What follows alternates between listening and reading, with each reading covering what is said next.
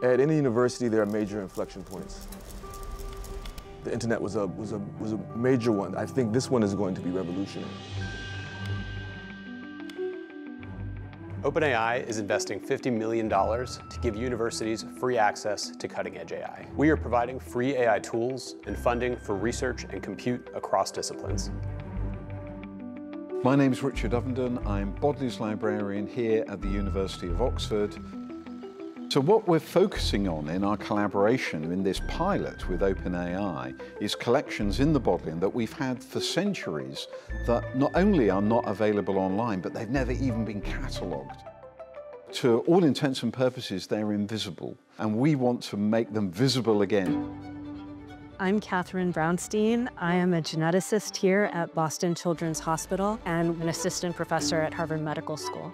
It takes on average seven years to get diagnosed for a patient with a rare and orphan disease. I want to democratize access and streamline the diagnostic odyssey. My name is Peter Mohler. I'm the Executive Vice President for Research, Innovation, and Knowledge here at Ohio State University. What this partnership will allow us to do is to bring AI to the masses, to bring AI to all of our researchers, whether they're working in agriculture or engineering or the next generation of space exploration. I'm Dr. Benjamin Talton. I'm the director of the Moorland-Spingarn Research Center at Howard University and professor of history. The business of universities is planning for the future. You can't plan unless you know the tools that you have at your disposal. Students will have access to it faculty and staff will have access to it. So we'll see how will students learn with it, how will professors teach with it, and how will administrators streamline our, our services. Using OpenAI, we're cutting down on the diagnostic odyssey time for patients. We're cutting down on clinician frustration. We're cutting down on healthcare costs.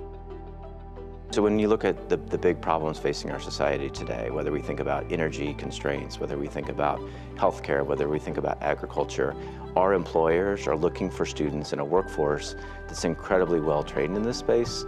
And so to be able to work with OpenAI to create AI fluency for students at scale is really profound these days. And what we need to do, I think, at this moment in human history, is to share that knowledge as broadly as we can to encourage people to engage with those problems and hopefully to find solutions to those pressing problems that face humanity.